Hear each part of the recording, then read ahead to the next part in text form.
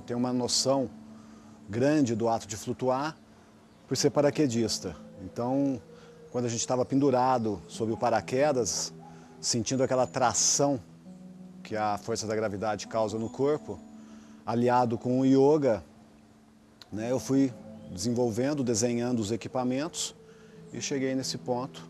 E desse equipamento surgiu então a ideia de aliar o yoga, né, aonde saiu o yoga gravitacional.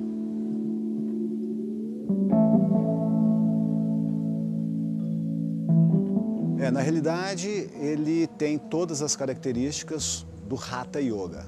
Hatha Yoga é toda linha de yoga que trabalha posturas, que dá ênfase em posturas e exercícios respiratórios. Então a gente tem todo um processo inicial, onde a gente faz um yoga clássico, que a gente chama de pré-gravitacional, que vai te preparar para ir para as barras, para trabalhar com o corpo suspenso. Todo o foco da aula é no processo respiratório.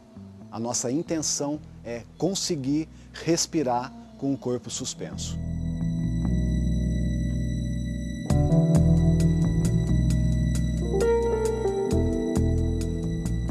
O gravitacional, no início, né, quando as pessoas começam a experimentar, trabalhar com o peso do próprio corpo suspenso, é um pouco intenso, né? Não tem como ser diferente. A gravidade, ela, ela não te perdoa. Ela está 24 horas exercendo uma atração sobre você.